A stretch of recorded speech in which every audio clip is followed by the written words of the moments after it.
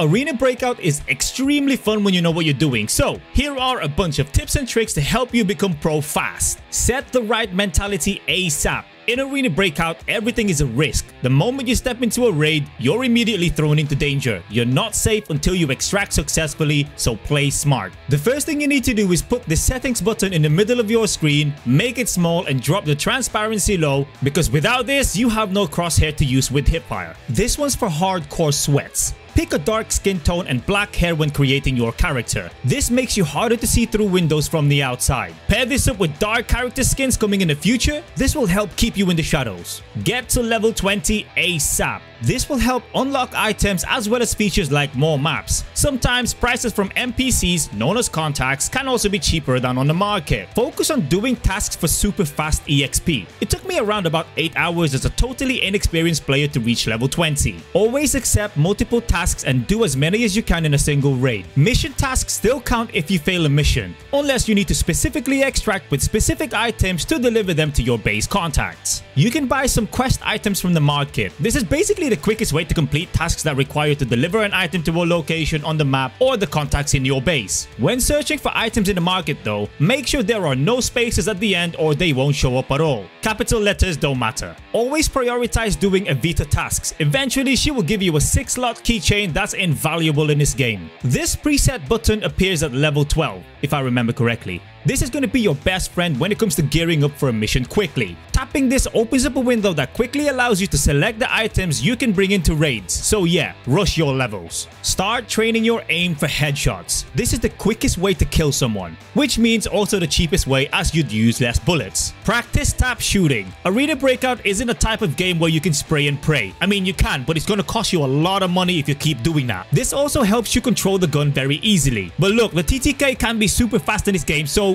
like I said, you don't need to spray and pray in this game at all. This is an extraction shooter game. It means you need to go to one of these spots every single time to bring back anything to your base. If you die, disconnect, or don't extract before the timer runs out, you will lose absolutely everything. Well, almost everything. You keep your melee weapon, keys that are in your keychain, and the next bit. Safety boxes. These are special containers that have a separate storage area in your character window. This box in itself as well as items stored in the box will always be kept in this box even if you fail to extract or you die. When playing in a team, if you die and any of your teammates pick up your items like your gun, if they extract with it successfully, that item gets automatically sent to your mailbox. Alright, map tips. Farmland is the smallest map in the game. This map allows you to run around with only a short range weapon like an SMG or a shotgun. There are bots placed on high ground in some places though, but most of the time SMGs can reach any enemies. Valley on the other hand is bigger than Farmland. Here, there are a number of places where you can even snipe from a far distance. I wouldn't suggest only bringing an SMG in this map. Bring at least an assault rifle to deal decent damage to someone that's far away. Before we cover Northridge map, here's a quick damage tip. There's a thing called damage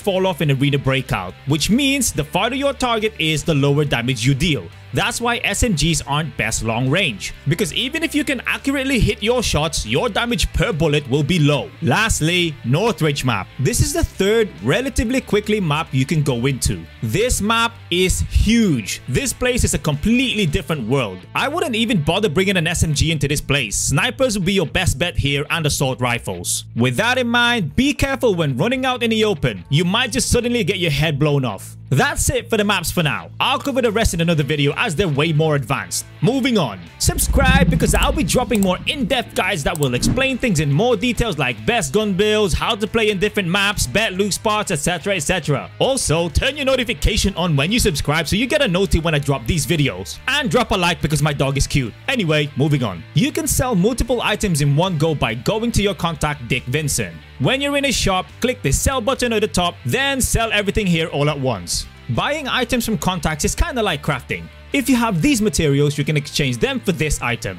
If you don't have them, this button allows you to buy them straight from the market and exchange them for the item. In Arena Breakout, bullets are somewhat more important than weapons. If you can actually control a cheap weapon build, it's better to invest in buying high tier ammo like tier 3 and above than spending tens of thousands on attachments. Higher tier ammo will help penetrate armor quicker, allowing you to kill enemies quicker. This could also end up being cheaper because you'll use less bullets and you might not need to heal because the enemy is dead instantly and they don't even have a chance to shoot back. This next one is a very risky strat, but Running with your melee out instead of a gun drains stamina slower. I wouldn't suggest doing this all the time as switching weapons takes so long in this game. This is risky business, but it does help in certain situations. With that being said, weight affects speed. Running with a sniper will drain your stamina quicker than when you're running with an SMG. Roll up bags and rigs to save space in your storage. You can also roll them up if you want to steal them from other players or bots that you kill in raids and stick them in your backpack. Take every key that you find and bring them with you in every raid. Sometimes you just happen to find a door that's locked.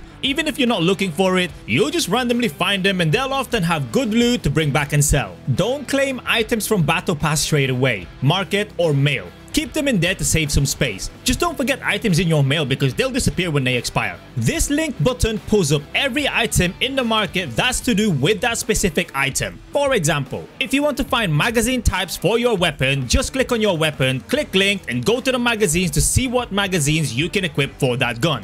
Dismantle a gun first, then sell each part in the market to earn more money. Prioritize selling vital parts of a weapon if you want a quicker sale as people are always crafting guns. There are 6 items you need to bring to every raid without fail. Health medkits to heal your base HP, but they use hydration every second you're using it. Bandages to fix bleeding status. Painkillers to ignore pain. I'll explain this more in a minute. Surgical kits to fix destroyed body parts, aka broken bones water to avoid dying from thirst, and energy drinks to avoid dying from hunger. The health system in this game is complex as hell. There are many ways to die in Arena Breakout. Here's how to minimize your chances of dying by using these 5 items I just spoke about. This is the number one habit you need to build ASAP. Always use painkillers before entering a fight or a dangerous area. Pain is the biggest pain in the ass in Arena Breakout. Pain causes a lot of trouble if you don't deal with it properly. For example, if you're aiming down your weapon and you get shot in the arm and that arm breaks, you will automatically lower your weapon because of the pain.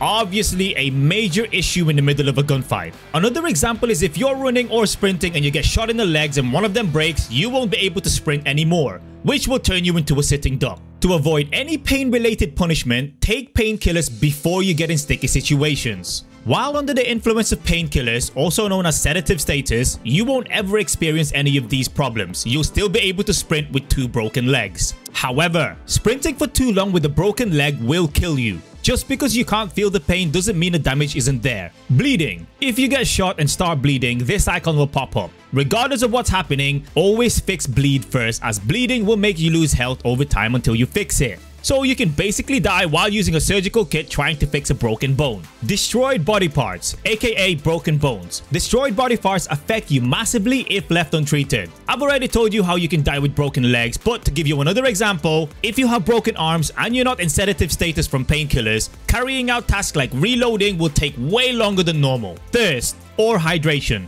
Using medkits to heal or sprinting are some of the ways to drop your hydration levels. When your hydration level gets low, you become thirsty. When you become thirsty, your vision becomes blurry and you can even die. Energy, aka hunger. Again, sprinting also affects this status. Weight also affects this. So if your backpack is full of items and you're overweight, you consume stamina quicker, meaning you cannot sprint for long. Oh, and you can die from hunger too. Eat. Here's normally what I take for a budget survival build. Three of these healing kit for my base HP. It's cheap and heals nice. It also doesn't use much hydration per second. I just loot more from the map if I need more. Two packs of field bandages or one OPM bandage if I have a bit more money. Four simple surgical packs or one standard surgical kit this standard kit is cheaper from Evita but can only be bought at level 20. More expensive but only takes 2 slots with 4 uses. And lastly, this Hung Yang drink from the market. This thing is awesome. It only takes 1 slot and gives good amount of hydration and energy fix. I take 1 for farm, 2 for Valley, 2 to 3 for Northridge. Always check health page before doing raids. You don't heal instantly when you extract back to your base. Healing applies over time in your base or you can use these healing items to fix whatever you need. Carry at least one small grenade and use it every time you extract. This helps minimize the chances of you getting sniped by extraction point campers. Be careful though. These campers can still either get lucky with a snipe or throw a grenade that you won't be able to dodge at all. With that being said, be super careful and check everywhere when running towards extraction points. Check bushes, hills, watchtowers, behind vehicles. Check everywhere. Plan your stamina levels. I don't normally go into danger zones unless I have a full bar of stamina. This allows me to push and sprint to escape if I need to. Likewise, I stop a little far from the extraction point, hide and get my stamina full. So if I get attacked by an extract camper, I'll have some stamina to reposition with. Memorize bot locations. This will not only help you avoid getting shot at and damaged, it will also help you stay undetected by nearby enemies. Sometimes it's best to not kill all bots outside an area you're trying to loot. So basically when you're looting and they start shooting, that's your free alarm to say that there are enemies nearby. Alright, next. I won't go through the whole gunsmith system here. I have a separate guide for that. Subscribe! But if you ever want to edit a weapon you already have, put it in your storage, tap on it, click gunsmith, edit away and save that build. Backpack slots explanation. Some bags have different design slots that's unique for that bag, and these slots are usable based on the pocket system. For example, these two side pockets are these two side pockets. You can't put a gun in this pocket because it doesn't have enough space. You can put a bottle of water in there though, and this works exactly the same with rigs. You can pick up a rig, put it in your backpack and put stuff inside it. Some of the higher tier ones use less space in your storage, but they themselves have more storage inside that you can use while they're inside your bag. Always use a silencer. Silencer or suppressors minimize the sound of your gun makes when shooting. Now, this might be obvious when it comes to enemy players hearing it, but if bots hear it too, they'll run straight to you, putting you in a terrible situation. And if you're unlucky, more bots will spawn near you and run to you as well. With that in mind, always take advantage of someone else's terrible situation. Here are two examples of that. Third party is king. In any competitive environment, Third partying will always be king. Use this time to take out enemies without being seen. Try to figure out who's winning and kill them instead first. So when you're done with them, the remaining enemies are weak and easy to take out. Secondly, when you're super low on health and need to run away, as soon as you hear chaos, run. Everyone's gonna be so busy trying to kill each other and you'll just be a little mouse running away. Still be careful though, you're only less likely to be killed. This doesn't turn you invisible or immortal. If you can hear it, enemies can hear it. Healing, drinking, bush noises, if you can hear it, enemies can hear it. ABM. Always be moving. Shoot, kill, reposition, heal, repeat. Arena Breakout is a marathon, not a sprint. It's all about playing smart. You can make your enemies run out of supplies by simply moving around and teasing them. When they run out of supplies, they're free food. Prone when looting. Even when you have to loot out in the open, prone. At a glance, enemies might mistake you as someone who's already dead, at least the lower tier players anyway. But that still minimizes the chances of you getting killed in general, so take it. Any level of bullet can one-shot you in the face or the ear. Yup, including the crappy tier 1 bullets. Buy a helmet with a face guard. Get this helmet, go to this tab and buy this mask. It's cheap and it prevents you from getting one shot in the face. Once you bought the helmet, drag the mask onto it to install it. On that note, helmets have a mini gunsmith. Some of them will allow you to equip tactical items like a face mask or a night vision goggle. And on your hood, this button allows you to toggle on or off tactical items on your helmet. Don't get too close to a wall or an enemy. You'll fold your weapon into your chest which means you'll shoot sideways. With that in mind, you can actually use this mechanic to your favor. Run up to an enemy and hug them. They won't be able to shoot you at all. Perfect when you have a melee weapon out. Just run up to them and start slashing. They won't be able to do anything at all. Always try to keep spare magazines full. Build this habit early. Get into a safe spot and refill your mags frequently, so you'll always be maxed out on bullets every fight. Make sure that you keep your mags in your rig for a quick reload. If your mag is in your backpack, you won't reload to it. Make sure you have one free space in your rig for that mag that you're swapping from, otherwise your character will either put that mag into your backpack or drop it on the floor if your backpack is full, which you can end up forgetting to pick up. When you're in your base, always remember to go into your storage, open items and weapons weapons and examine items within those items to unlock them. Unlocking items allows you to craft or buy them later on. Likewise, this is a quick way to edit attachments on your weapon like scopes or magazines. Shoot through doors if you think someone's behind there. Wallbang works wonders in this game. Don't just run straight through doors. Open, take cover, peek. Don't try and take cover behind the door though, you can get wallbanged yourself. If you want to make the most money when you raid, only carry one weapon. So you can pick up another primary weapon and a secondary weapon to bring back and sell or keep without using any backpack space. Play on balanced graphics is generally brighter. It's also light on your device so you can push your FPS setting higher. If you're broke, quickly do covert raids. Not only do you get free stuff from the start, you can also run around the map just scavenging for items other players left behind because they're full. Get used to using throwables ASAP. These are absolutely crazy useful in boss fights or flushing out campers. With that in mind, grenades aren't just for killing. If they explode near a player, they can damage their hearing, allowing you to push without being heard. Be careful though, these footstep sound indicators will still come up. If you're a gaming demon and just naturally good at killing and surviving, do all of your tasks in rank mode. You don't really get bonus EXP from the task itself, but Every kill on every successful raid is rewarded higher when you're in rank mode. Remember this, less weight, faster movement. Also less weight, less stamina consumption when sprinting.